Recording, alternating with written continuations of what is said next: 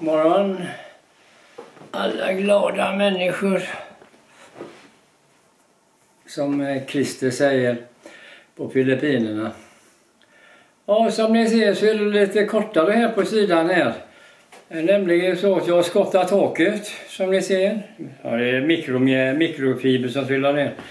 Som sagt var jag skottat, skottat taket. Det var länge sedan jag gjorde det. Men nu var det dags att göra det för att eh, han såg ut som ett utegångsfår. Så att jag var tvungen att klippa mig. Och det känns skönt, det är ju jätteskönt. Fast det känns lite kallt om huvudet när man är ute för att eh,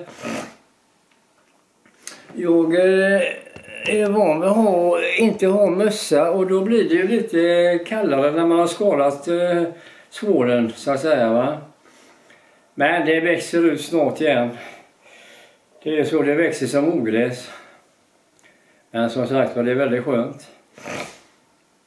Eh, jag vill tacka er alla för er omtanke och medlidande med mig och, och Felix, inte minst. Det är ju främst honom som man ska eh, tycka synd om. Och det gör jag verkligen. Jag saknar Felix något fruktansvärt mycket och jag tänker på när jag pratar med honom varje dag när jag tittar på hans tavlor. Det är så fruktansvärt jobbigt alltså. Nu har jag lilla Frida kvar och hon har tagit in platser där hon inte har legat någon gång när Felix levde. Till exempel det där på Töljen där med en pläd där. Hon har aldrig legat någon gång. Nu ligger hon där emellanåt. Samma på hyllan som jag gjorde vid datorn där inne en gång. För många år sedan så hade jag en annan dator när jag jobbade på spårvägen.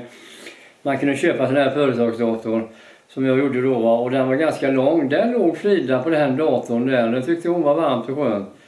Men så fick jag köpa en annan och den var inte lika lång och stor som den jag hade innan och då fick hon inte plats där riktigt.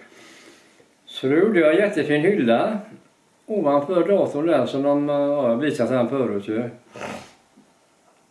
Och där ligger hon så gott där i den hyllan där och det gjorde Felix också. Han gillade den. Han låg gärna i den hyllan och, och sov och kunde titta ut genom fönstret och sådär. Men eh, som sagt var saknaden är enorm.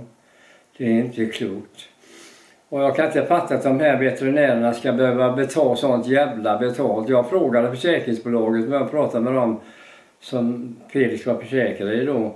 Om de inte har någon eh, eh, lista eller någon form av kontroll på vad veterinärerna tar betalt. Men han sa de har tydligen eh, de har nog koll på det lite grann, eh, gängse priser då va. Så det, eh, det var tydligen inte oskäligt men jag tycker att det var det och många med mig naturligtvis.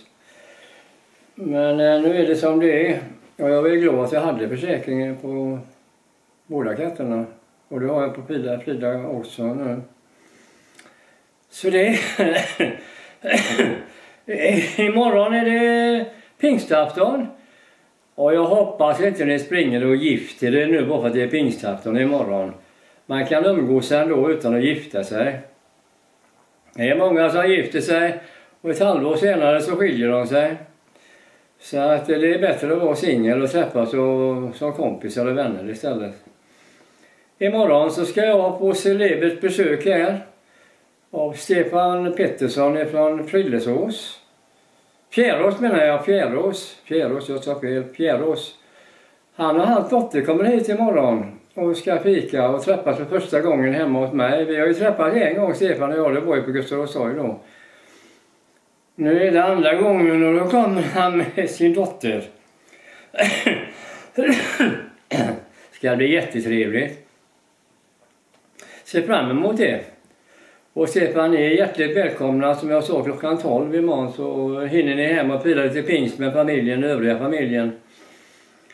Så att, eh, ja, så ser det ut mina vänner.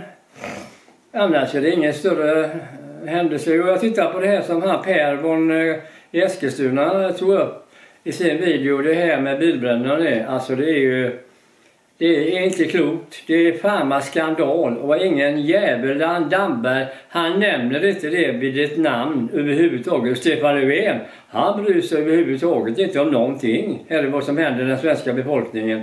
Han vurmar bara för utlänningarna och utlandet. En sån jävla idiot alltså. Men stackars den kvinna som blev av med sin bil då som var handikappad handikappanpassad för henne. Helt jävla utbränd. Så kommer det två sådana här jävla drägg och pekar finger och säger att det ska brinna mer. Alltså jag hade önskat att det var några vuxna människor som hade tagit tag i de här jävla idioterna, de här två, och bankat skiten ur dem. Verkligen önskar jag det. Det är synd att det inte var någon med civilkurage som kunde ta tag i de här jävla störungarna som gick förbi där. Fy fan vilken jävla skit vi har här i det här landet. Det kan vi tacka den jävla Annie Lööf för, den rödhåriga jävla skatan och ehm, Miljöpartiet. De här förbannade aserna. Och sen kommer han Stefan Löfven, den där jävla knähunden. De sitter i knät på de här jävlarna. Bara han får ha makten så det är inte så jävla noga vad som händer. Jag har säkert sagt det tidigare, och jag säger det igen för jag blir så jävla förbannad. Men... Eh, och som Jimmy Åkesson sa i inslag i Riks-TV där att eh, han skulle avgå sju dagar i veckan, Stefan Löfven. Men det händer ju ingenting. Det är ingen jävel som vågar göra någonting. Och Vänsterpartiet pratar massa skit igen, hon den nya där. Att de ska fälla regeringen om han inför marknadshyror. Det sa Jonas Sjöstedt också. Men han fick väl den jävla förmånen, det här kuvertet han fick av Stefan Löfven, för det är ingen som vet vad det innehöll. Men det var väl någonting, kärringen fick en ambassadörpost i Vietnam. Och så vidare och så vidare. Så de kliar varandra på ryggen de här jävla svinerna. Men jag hoppas, och jag, om han nu inför det här med marknadshyror så hoppas jag Vänsterpartiet gör slag i saken som hon sa att de skulle göra. Och inte prata massa jävla mundigare bara. Hoppas verkligen det. Hur skulle det se ut med det här med marknadshyror? Ja, då får vi som jag sagt tidigare, vi får hyra Smyrnafält och bo kollektivt där då. För det finns ju ingen människa i världen som har råd med de hyrorna som det kommer att bli. Nej. Ja, ja, det är kapitalet som styr, det är bara så. Globalisterna.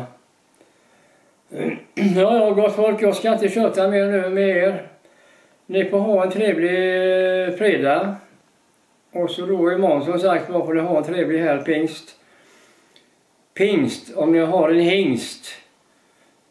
Ja, då kan ni rida på den. Okay,